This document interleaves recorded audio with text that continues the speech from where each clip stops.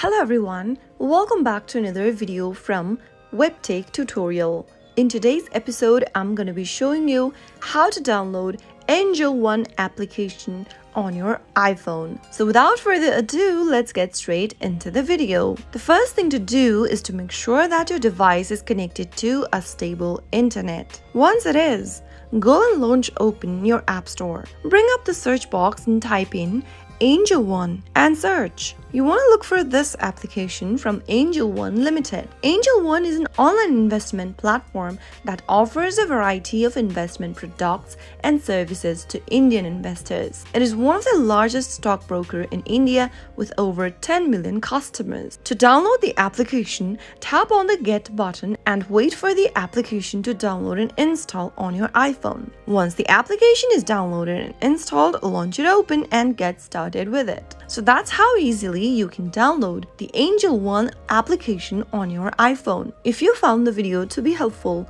go ahead and give us a thumbs up. Don't forget to subscribe to the channel by hitting the subscribe button. Also press on the bell icon so that you'll never miss another upcoming upload from us. I'll see you again in the next video. Goodbye till then.